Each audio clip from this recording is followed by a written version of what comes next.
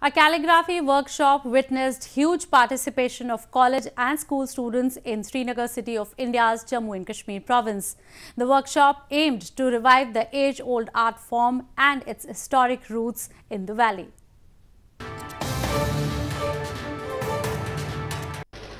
A calligraphy workshop was organized recently in Srinagar city of India's Jammu and Kashmir province. Kashmir has an age-old history of calligraphy, but it has seen a decline of the art over the years. In order to revive the art and promote it among the young generation of the valley, the workshop was conducted under the supervision of calligraphic experts. कम से कम मुझे लगता है साल में दो चार बारी तो होना ही चाहिए। ये नहीं कि एक साल में हम एक बार क्या इसका मतलब ये करेंगे वर्कशॉप मुझे लगता है एक साल में कम से कम दो चार बार होना चाहिए।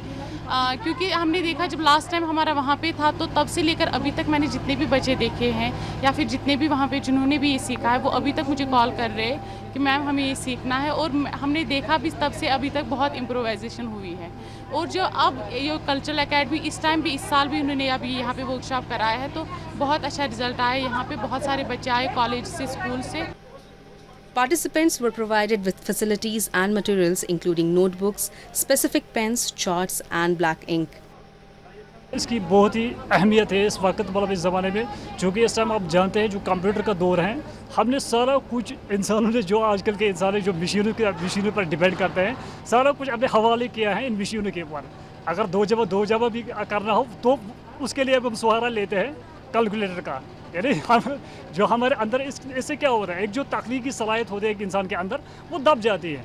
मतलब इन चीज़ों से क्या होता है? जो हम ये, जो तकनीकी चीज़ जब हम बनाते हैं, इससे जो आप जो तकनीकी सलाहियत है एक इंसान के अंदर तकनीकी सलाहियत, वो उभर जाती है। वो निखर जाती है मतलब इन चीज़ों से। Calligraphy in Kashmir flourished under the sultans and the Mughals.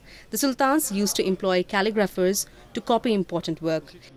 Initially, the calligraphists were brought from Central Asia as they had knowledge of paper from China, whereas the Indian calligraphists work on a birchmark.